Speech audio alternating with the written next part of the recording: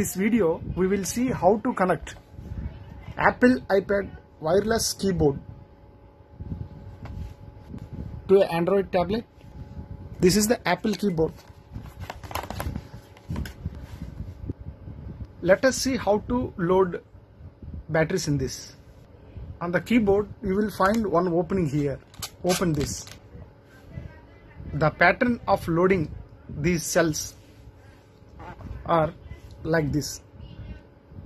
The positive goes first, again positive, then lock this.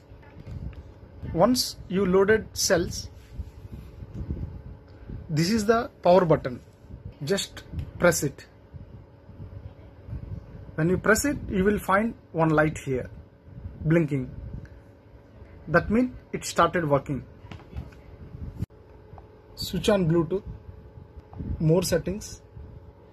In more settings, you will find pair device. Now it is searching. This is Lenovo. It is showing Apple wireless keyboard. Now touch this. Here it is saying type the pairing code then press return or enter. This is the return oblique enter key on the Apple iPad keyboard. Once you press that, now it is showing Apple keyboard connected. Now let us see whether it is working or not. Once it is connected, if you type, it will start working. 1, 2, 3, 4, 5, 6, 7, 8, 9, 0. Q so and so, so and so, so and so. So it will be easy to operate. It is very simple. Now I am in Google. I want to search for particular thing. I am typing in this.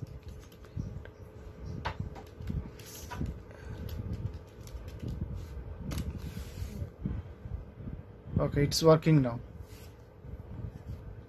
This is the simple way. By this you can connect